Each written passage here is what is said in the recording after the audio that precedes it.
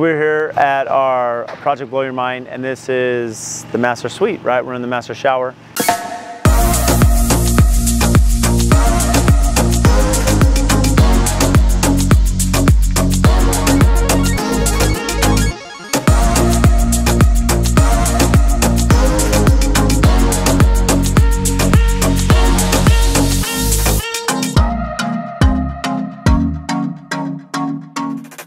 And this slab, we've done videos about post-tension concrete. What is post-tension concrete?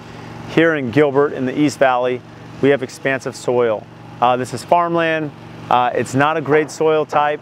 Uh, it's not horrible either, but at the same time, although it's easy to work with, it is expansive.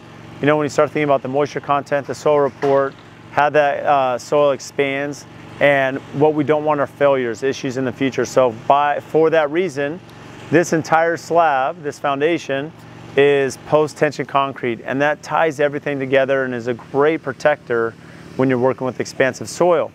Now one thing, a lot of people are weary and, and nervous about doing any uh, concrete cutting when there's post-tension slab.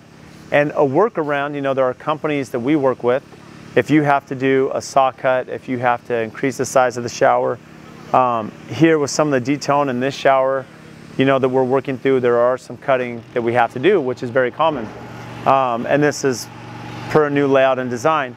But what happens is there's an x-ray company, they come out, they x-ray all the cables. So they can come out, they can lay out the cables, they can identify where those are at, and then you can work around that as you're cutting. That way the guys that are in the field doing the concrete cutting, they know where the cables are, they're laid out, they're identified through x-ray, and now they can cut safely without cutting those cables. Now, Again, a lot of people are worried that, hey, what happens if I cut a cable? Is my house gonna fall apart? Is my foundation, is my slab gonna fail?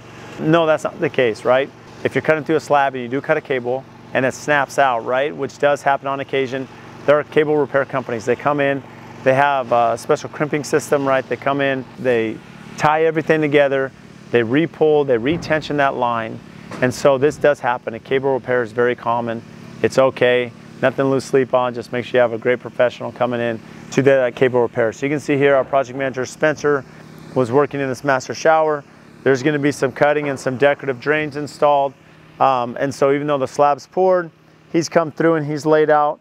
You can see here we have the cable line, so he's laid out the cables here because we have cables running sideways, both ways, and then um, front and back, right? So he's laid out the cables that run this way, that run this way. Now, as our plumber and our concrete company come in to do the work that's needed, for the new shower design, they can work around these cables, uh, know exactly where they're at, and still uh, complete the project and the change that we have to make.